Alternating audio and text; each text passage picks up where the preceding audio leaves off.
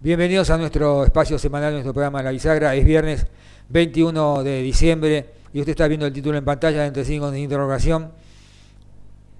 Cambio de época. Ya vamos a ir al punto. Pero en principio hemos decidido dividir este comentario en dos capítulos por todo lo que sucedió durante la semana. El primero de ellos, lo que sucedió el martes 18, cuando se conoció el fallo de la Corte Suprema sobre el caso Blanco.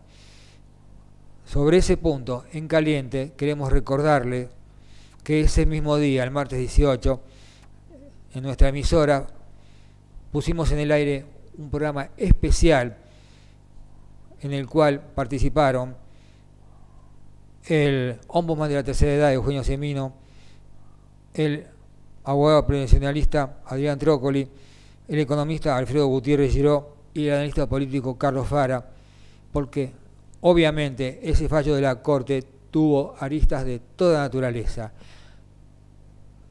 sociológicas, económicas, políticas y también jurídicas.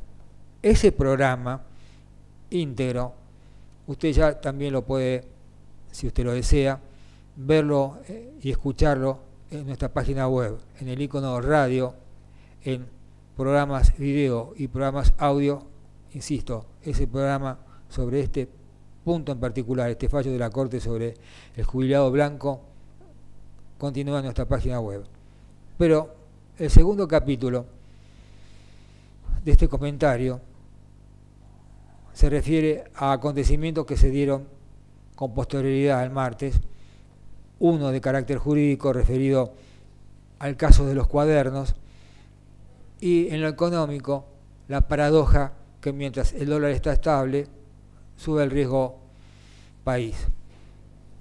Como todo tiene que ver con todo, por eso nos preguntamos si hay un cambio de época y también es, este interrogante a su vez desata otros interrogantes como si la dirigencia argentina de toda índole está de alguna forma copiando, interpretando ese cambio de época. Para encontrar respuestas sobre justamente este tema, hemos en esta jornada, en este viernes, sostenido dos diálogos con un analista político, Jorge Giacobbe, y con el economista Aldo Abraham, en dos entrevistas que también están en nuestra página web.